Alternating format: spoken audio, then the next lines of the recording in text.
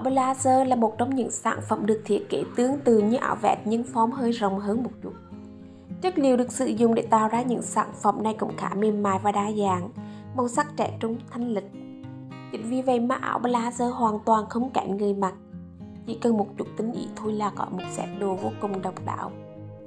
Đừng quá lo lắng, ngay sau đây là cách phối đồ với áo blazer nữ bạn nên ghi nhớ để áp dụng và thực hiện nhé.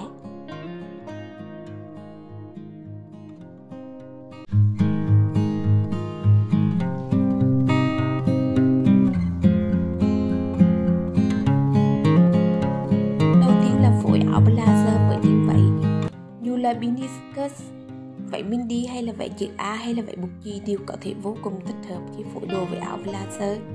Với set đồ này thì không chỉ giúp bạn trông cao ráo hơn, thon gọn hơn mà còn rất là outfit khác tuổi cực kỳ. Và với set đồ như thế này thì bạn có thể kết hợp cùng với quần thể thao hay là đôi bộ cột thấp, sẽ mang tới thời trang trẻ trung năng động. Còn nếu thích sự dịu dàng, nhẹ nhàng thì bạn có thể mix với chân váy dài hoặc kết hợp với đôi giày cao gót hay Scandinavia là hợp lý nhất.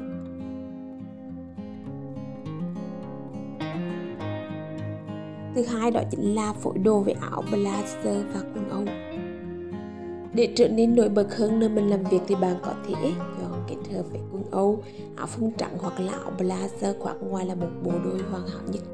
Đây là outfit vừa tốn lên được sự thanh lịch nhưng cũng kém phần xanh điệu và nữ tính cho mỗi cô nàng.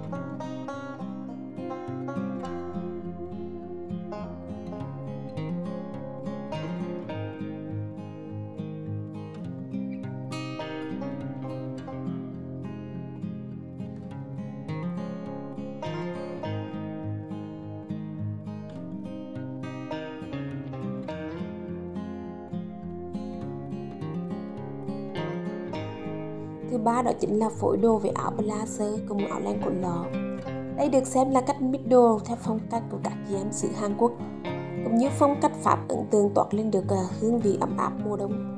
Chính vì vậy mà bạn có thể kết hợp với quần ống rộng, quần jean ôm để mix với áo len của lò bên trong và bên ngoài mặc đi cùng với đó thì bạn có thể mix với một đôi bộ cao cổ hoặc là một đôi giày tay cao gót sẽ mang tới cho bạn một phong thái sang trọng đẳng cấp và thanh lịch khi diện bất cứ nơi đâu Nhìn chung thì với những chiếc áo blazer như thế này thì chị em mình hoàn toàn có thể mix và mát được mọi trang phục khác nhau, để biến tấu đa dạng phong cách.